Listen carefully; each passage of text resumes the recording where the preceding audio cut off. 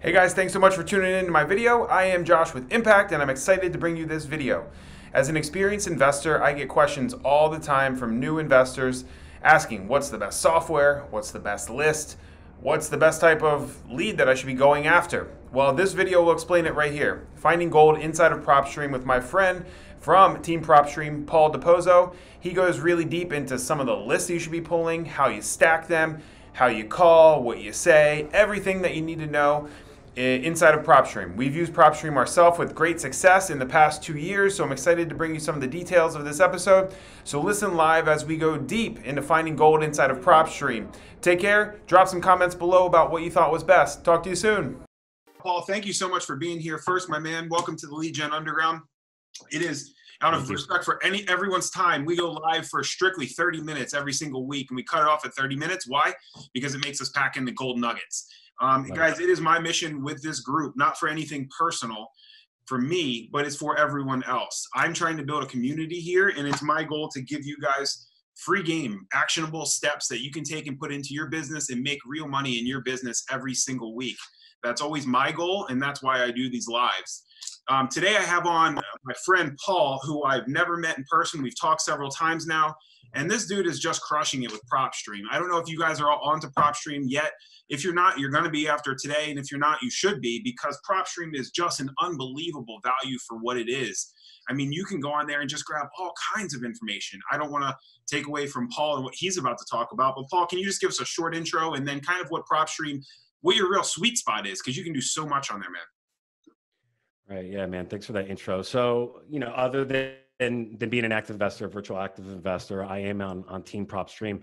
Um, you know, I, I, spearhead a lot of a lot of uh, what we do with uh, affiliate partners and, and really like uh, higher end groups and, and, communities like this. Um, you know, I, I'd love to show you guys what what we do in here. There's a lot in the system. Uh, we're not going to have all that time, so I'm just going to really focus on some some main functions. Um, you know, some of you might already be using this, so I'd love to see maybe you know you put out some questions maybe in the chat box or however you guys are communicating in here. Uh, if we don't get to it today, obviously we don't have that you know uh, that much time. Um, you know, we'll we'll fill back out, or you know, you can contact me directly. So um, let's. Can we share a screen here somehow, man? Yeah, um, you should be able to. I yeah. think made you a co-host. Let's see. Then I can kind of show some folks here. Um, Are you able to do it? Uh, my mug. Yeah, here I got it. I'm running okay, it cool. right now. I hope everybody can see. Can you see my screen now? Can. Right. Awesome. So, you know, PropStream is a, a nationwide property uh, data tool. Uh, I like to call it the Swiss Army knife of uh, real estate investing because it really gives you the ability to run um, run information or run property addresses basically for anywhere in the country. Uh, and you can also pull data, property lists. Um, so let me kind of just pick a random property here. We'll do. Uh, let's go to Florida. So I'm feeling kind of warm today. Um, so you can, you know, as you guys are marketing, right? Um, I'm kind of going a little backwards here, but as you guys are marketing, uh, you're getting leads that come into your system. Um, you know, they come into you, you, you drive by, maybe in the olden days, you're driving by some, some properties or however these properties are coming into your world. You know, you might want to throw them in here um, after they've come into your CRM or maybe after you set appointments, whatever, right? Um, you do the, the property search, you get the details window here on the right side. Uh, this opens up a whole uh, a whole plethora of information for the individual property and everything around it, right? So anything that you might need to verify, confirm when you're talking to that person, or maybe even before you've even spoken to that seller, right, or potential uh, seller. Uh, you get the name, property address, all the characteristics of the building, the location, where it's at, HOA information, whatever you might need uh, that might help you in the negotiation um, or just understanding of what you're going to buy, right? Um, as well as value, right? And we have our own estimated value. And what what I tell folks is use this kind of like a uh, like a starting point, or, or maybe even how you used to use Zillow. I use Zillow in my business. I tell you why, because that's the retail number. That's that's what people see out there, the general public. I was in my business. I like having an understanding of that number. But here with ours, like we have that value in my my business. We use this to know we're in the general ballpark. The beautiful thing of, of PropStream is we're able to actually go into the comp section and look at all the different activity that's occurred either in the public record or in the MLS uh, data. And now the cool thing in our last week's update is we've combined that data together on the front page to show you both. And that's really cool because you know, not every transaction happens in the MLS, right? And not every transact, and, and and it's important to see the stuff that that happens that's not on there, and maybe something has happened on the MLS that hasn't posted to public record, right? So we make it really easy to see all the activity to help you determine your your ARV, figure out your offer price, all that all that stuff. So in this example, let's run through it, right? This is uh, this is a property in, in Sarasota, Florida. I might come in here and start uh, shrinking down my filter range, right? Um, I'm sure a lot of you guys have, have, been using MLS or you know some sort of comping system, and this is all kind of familiar things to you, right? Hold on, let me grab a sip of water here. While you're sipping that water, are you guys pulling this in from like IDXs from uh, other MLSs around the country? Is that how that functions? There's a lot of data coming from a bunch of sources. So we have First American title data in here. We have CoreLogic data. Uh, we do have IDX data, um, and then a whole bunch of supplementary data that fills in a lot of gaps, right?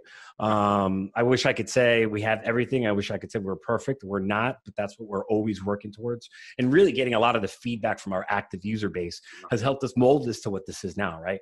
Um, so, you know, we, we heard the message. This was actually something I was uh, asking to, to tweak for, for a long while, It was really kind of combining all this data to allow you to look at everything that's happened so you guys can make your decision on your offer prices. So by using the filters like like i said you guys are familiar with you can really dial this down to the most like properties. That make sense right?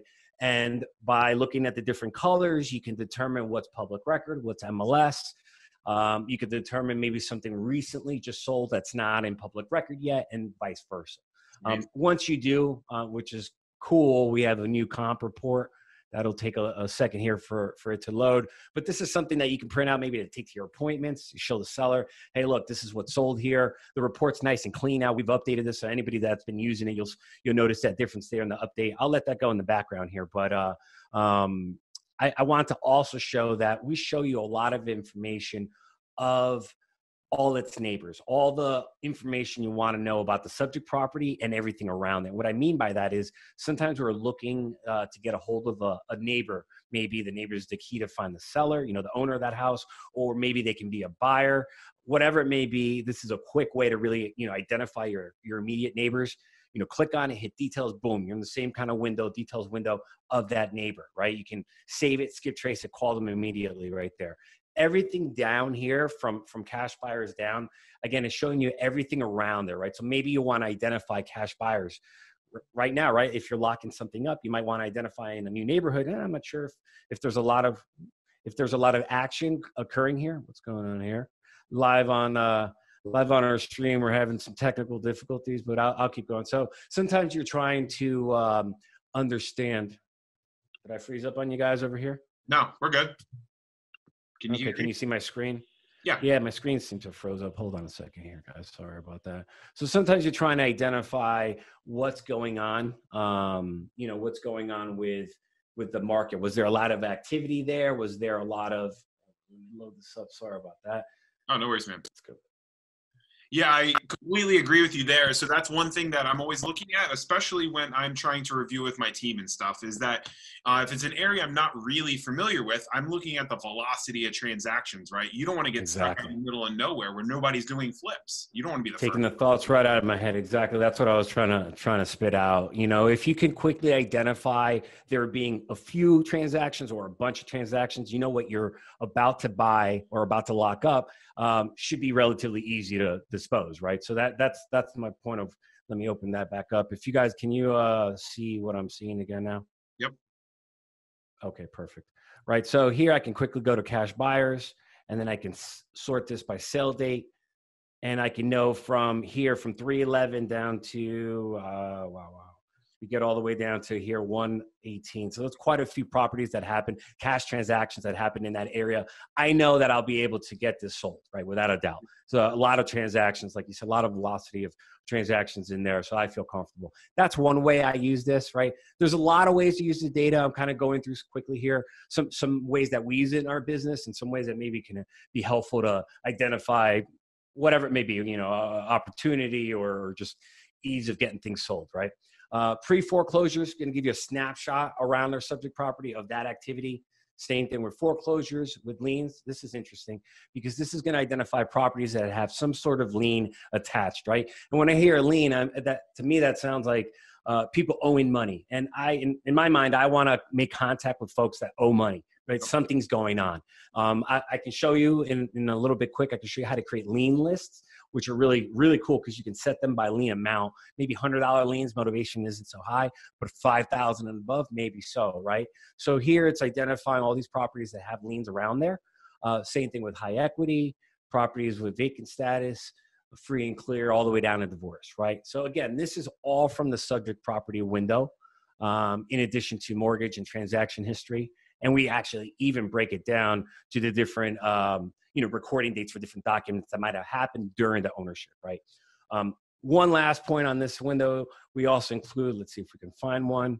Uh, we don't, bad example, but we can show you, identify if we have the document image right from this view. We used to hide it before, now it's kind of visible. So you know that that document, if you needed to see the deed for whatever reason, you can see that we have that image and you can actually purchase and download it there. Dude, that's wild. That's really cool. Okay, I, so I just wanted to chime in here as you're going along because these are some of the things that I do in my business with PropStream. So the other day I searched for new cash buyers, um, downloaded a bunch, sorted them out by the amount of transactions they've done in the past 18 months, and then we're skip tracing them and about to mail them. So, I mean, the cash buyer feed right there is a huge feature if you're looking to add. Let, yeah, let's show the audience that live. Like, what? Pick a city. We'll do that real quick. Uh, just go Baltimore, Maryland. And so uh, Jeff McBride asked, "Is there a way to search county or state data?" I know county there is because it doesn't pop up to pre-populate, yeah. but I always search Baltimore County, Maryland, and it comes up with the county-wide. No exactly, problem. that's the magic trick. The magic trick is always adding the name county right next to the name of the county. Right? Um, it, it, seems obvious, but it, it kind of isn't. Um, so make sure you spell the, the word county after, and then you're going to be able to get a county search. So now it's going to search the whole county. We can go in there, and like you said, quickly we can identify cash buyers and go to ownership info, and we can hit one year max, right? So this is going to be all the cash transactions that have happened in that year, right? This could be a, professional buyer, multiple properties, or it could be second you know, second homeowners, whatever it may be. You can start filtering this down if you wanted to, but this is very broad. 2,300 right now, today's times. Think it would be good to to reach out to folks and see kind of where their mind is, yeah. uh, where they're buying overall, right? So we could say this: we have 2,300. Click here. We can identify um, what that was, what kind of cash sale that was, ownership info, the names, uh, the groups. Like right here, look at this financial Guys, group incorporated, if, right? If, if PropStream did nothing else, just for the cash buyers feature right here, it'd be worth it. Look at the top; it was something like 4,600 or something like that. We downloaded all of those and then we sorted them in Excel to find out who had the most transactions. We were able to sort by the amount of transactions and worry about that top 10 to 20% of buyers in your market, the ones who have done the most recent deals or the, the deals that look like the one that you have. You can sort by that as well. So super, super valuable feature here. Yeah, and let me and let me show you this other one. In addition to that, you can select your flippers. These are going to be folks that bought and sold within uh, within the defined time. By default, it's 24 months, or you can set it down to to uh, 12 months. So this is going to identify, you know, the quick transact, uh, quick transactions of, of perhaps an investor, you know, rehabber, whoever that may be, right? So this is another way of sorting that down to reach out to folks to see if they're, uh, you know, buying right now or, or where they are right now. Yeah, absolutely, absolutely. Um, and so after cash transactions, I know we're pulling in our business. I think we have six or eight regular lists that we're updating now on a monthly basis just from PropStream. And so, for instance, a lot of ours, um, we are like stacking right within PropStream. Can you go and talk about just some common lists that maybe you do in your business or you see other people do? Like, for instance, we'll do vacant and out of state owner, or we'll do liens over 2,500 bucks and then out of state owner or something like that where we're stacking on motivations. Can you show us some right, so, Yeah, I'll, I'll, show you some things. And I'm, I'm cool. You, you mentioned a point there. So prop PropStream's cool because you can obviously everybody talks about stacking now because we've been kind of programmed. What we were doing is we're, we're finding niche lists, right? And then we'd end up saving them. We end up identifying uh, what they are and what what happens to be on the most, right? That's basically what stacking is.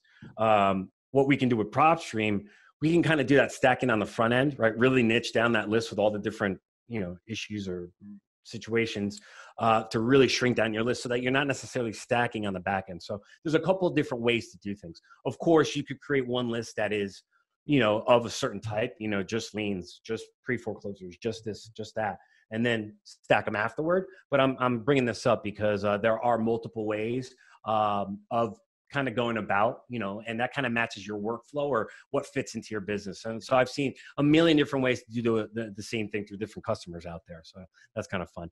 Um, let me, let's do this. So where do you want, what city do you want to go into here? Pick one, Josh. Um, let's just do Baltimore. Baltimore. Okay, we'll stick there. We'll stick with a wide data set of Baltimore County. We go into our filter set, and I always suggest having some sort of base criteria. You know, have an understanding of of what type of property that that this list is going to be.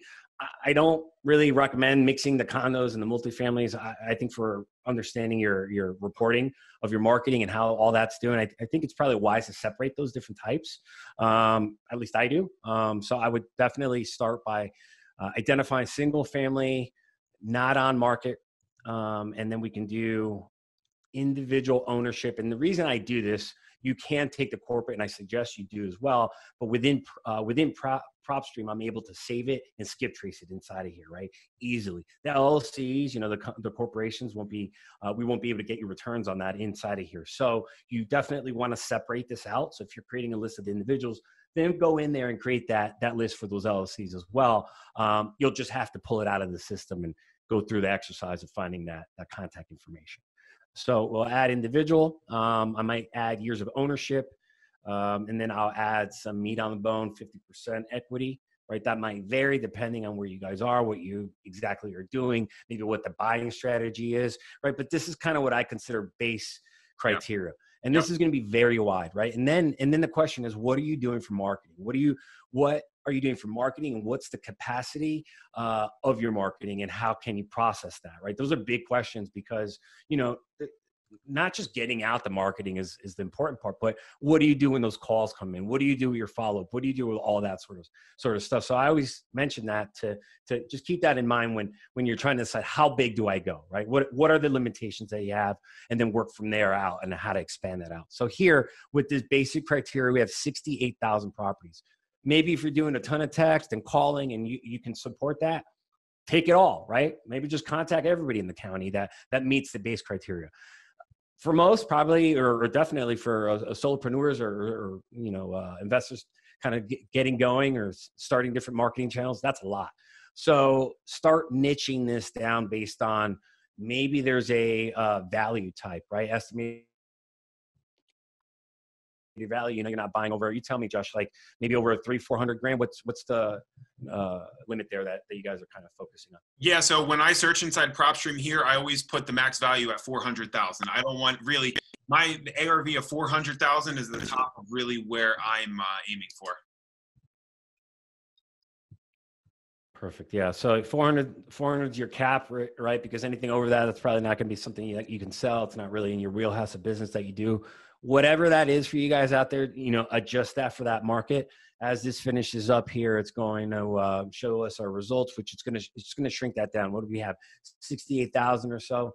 Hopefully, if if my uh, kid's not doing all these TikToks here at the house, it'll speed up here, and I'll have my uh, results here for you. But anyway, while while that's loading up here for you guys, you're you know you you start identifying how much can you handle. See, now we have 51, so we shrunk down a little bit, right? So we we probably still want to get you know keep keep going here a bit. Um, I would define maybe the estimated equity, maybe depending, maybe you want something that's got a little bit more meat, maybe, you know, move, move it up yep. to 60. That'll, that'll shrink up your base, right? But again, this is all base criteria, still a lot. We can start niching it down. And this is some of the, some of the areas I suggest you start looking at in your, in your markets, right? Liens.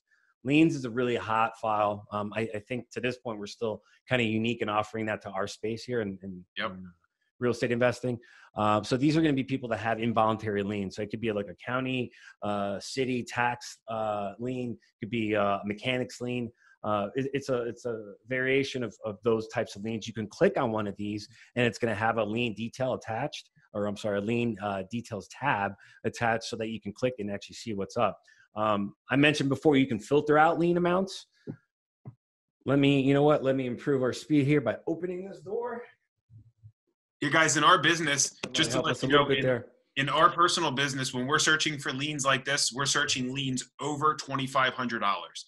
Stuff like that, that smaller can be really like small, either tax bills or like nichey, like HOA type stuff. So we go over twenty five hundred.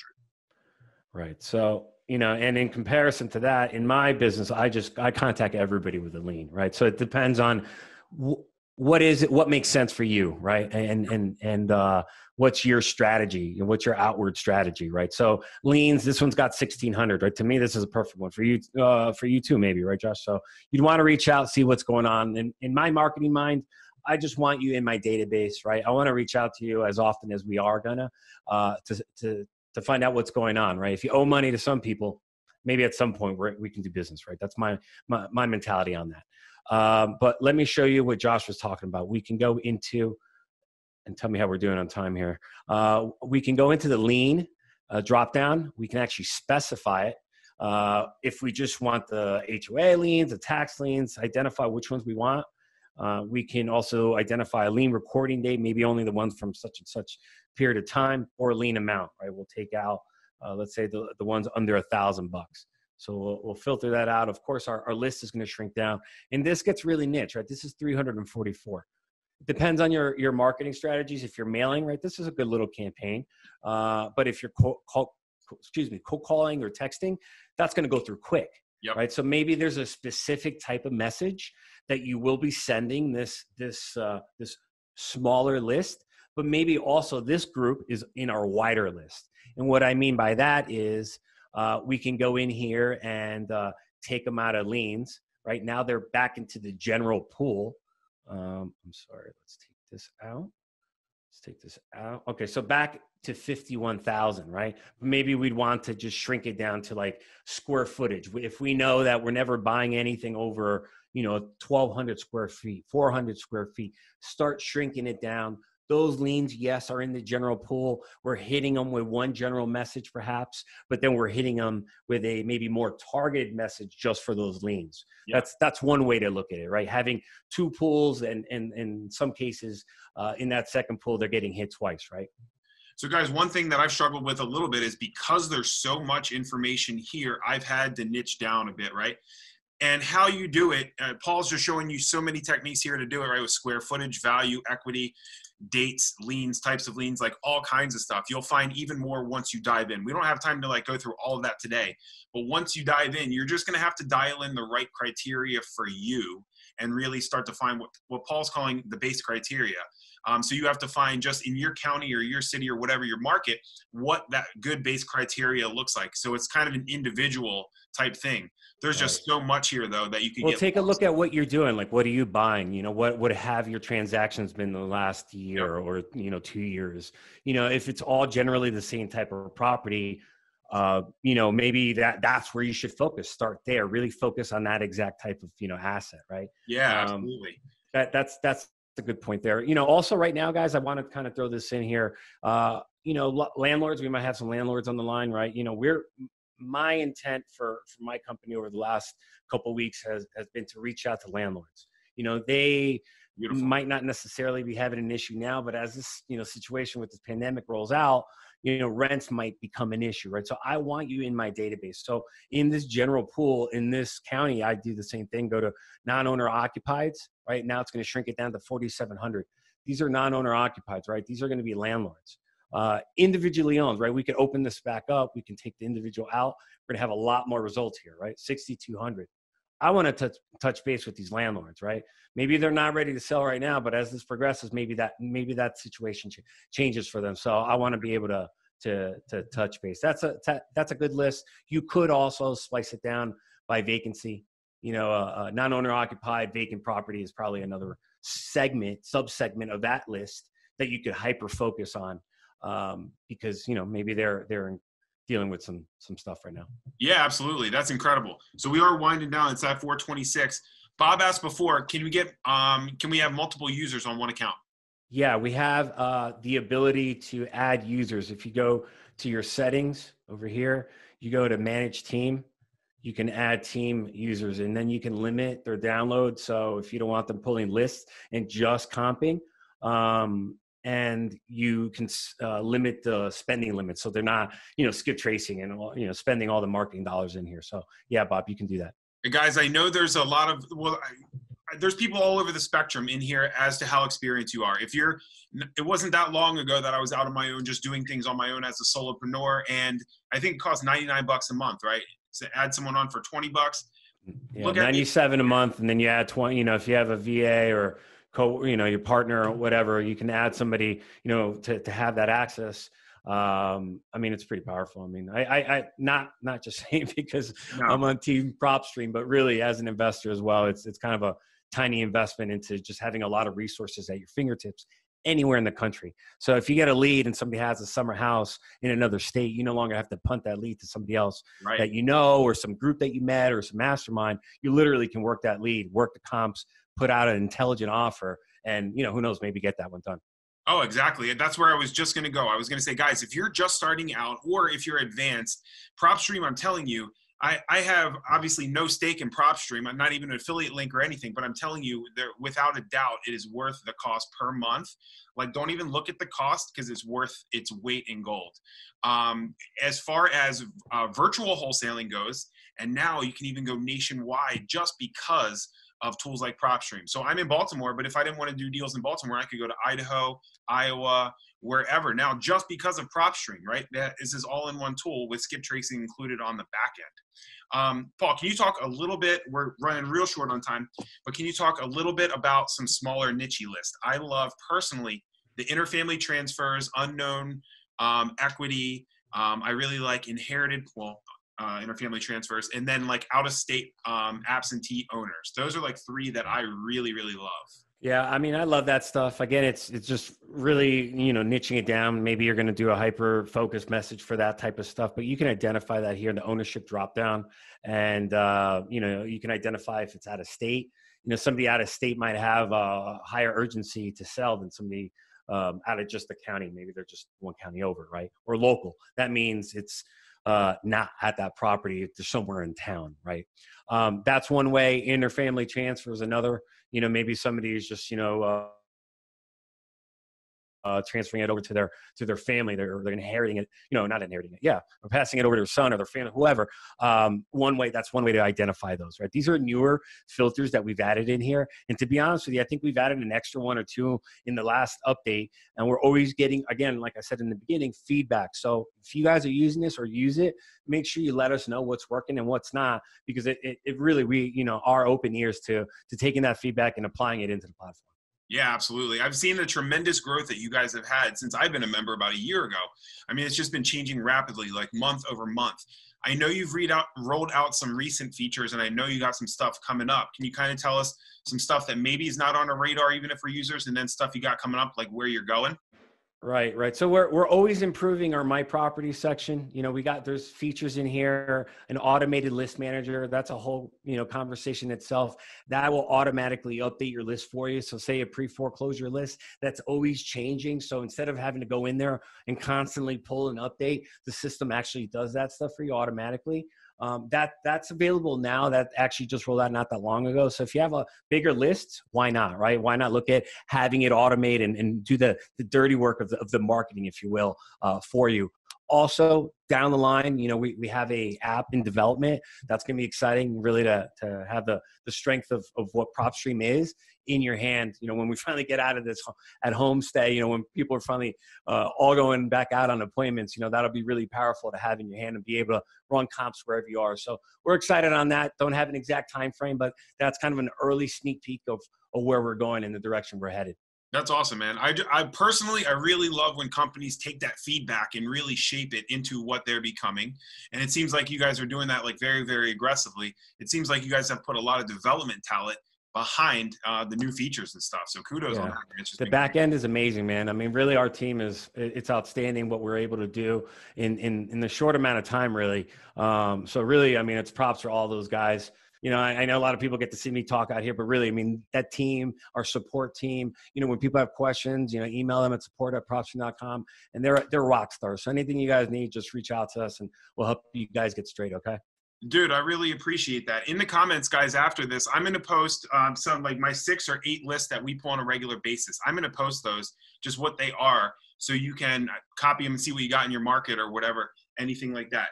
Paul, do you have a special link that anyone could use if they're not actually a member right now for PropStream? Again, it's not my link, but um, I should sign up for one. Do you have a link that you could post uh, in our? Yeah, I'll, I'll, I'll, get something for the group. I, I don't know off the top of my head, so I don't want to say something out loud, and then you know, obviously, it's looked at you know when somebody's hanging out later in their house. Um, so let's get something posted in. Um, you know, direct you uh, over there. Uh, also, if you guys have any questions on it, you guys can find me on you know, anywhere online, prop, um, you know, Facebook or whatever that is. Paul Del Pozo. I'm pretty easy to find, guys.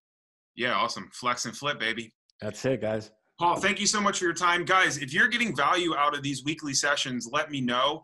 Um, it does take uh, quite a bit of time to plan these and to get them rolled out. If you're if you've enjoyed these, if you got value from them, please let me know. If you've got anything specific any gold nuggets that you've actually put into use in your business. I would love to know in the comments as well. And reason being is I'm going to pivot towards doing more of those things, just like Paul's doing in his business. So if you've gotten value, if you've actually put something into practice and it's earned you money, uh, please let me know. I would love that. And then the last little announcement is uh, beside i love doing this part of it but besides this everything else i'm quite terrible at and so i'm looking actually for a co-host so if anyone would love to help me join join me in and work um, the lives, work the group a little bit more, um, shoot me a DM or whatever on Facebook. I'd love that. Uh, Paul, thank you so much for all of your time today, my friend. You're just putting out amazing, amazing value for us investors. I lost you there. I don't know if I can hear you. Yeah, you now I hear you, man. Thank you. I you, you came back to me. I don't, I'm not sure what you said, but man, thank you so much for for having me on. I uh, man, I wish I had one last nugget to say, but you know, keep your head up, guys. Lead your teams on forward, and and uh, I uh, hope we all prosper and move forward strong. Okay. Dude, awesome. Go get them, guys. I hope you guys got some value out of this and see you next week. This elevator is going up. Peace.